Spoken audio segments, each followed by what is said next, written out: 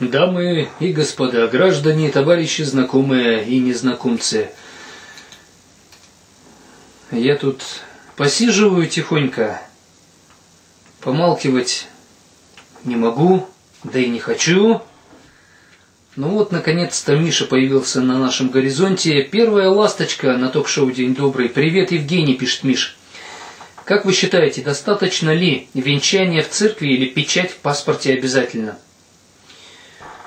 Э, Миш, э, печать в паспорте – это изобретение цивилизации.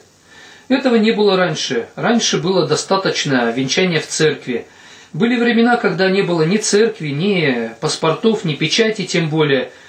Э, были близкие люди, односельчане, которые свидетельствовали, что вы муж и жена, а вы перед всеми говорили, вот моя жена, вот мой муж – вот мы стали одной семьей.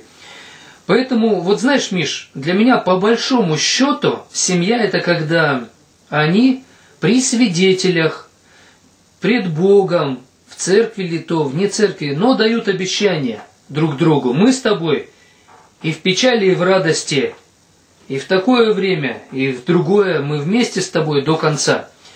Просто, Михаил, если не будет печати в паспорте, у вас возникнут проблемы – лишние проблемы. Вот зайдите в поисковик куда-нибудь э, в Яндексе и напишите, если нет печати в паспорте, какие возникают проблемы? Если нет свидетельства о бракосочетании, чего вы лишаетесь? Ну и все. Если вы к этим проблемам готовы, вы знаете, вот э, на мой взгляд, если вы готовы жить вместе, радостно и счастливо, да еще вы хотите под э, венец пойти в церкви, Бог вам в помощь.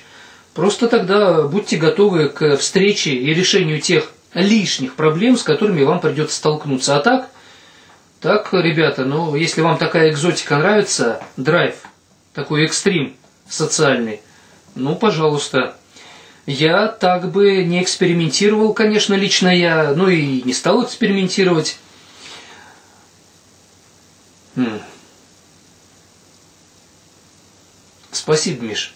Меня зовут Евгений, я отвечаю на вопросы, также даю практические рекомендации. Милости просим, звоните по бесплатному номеру.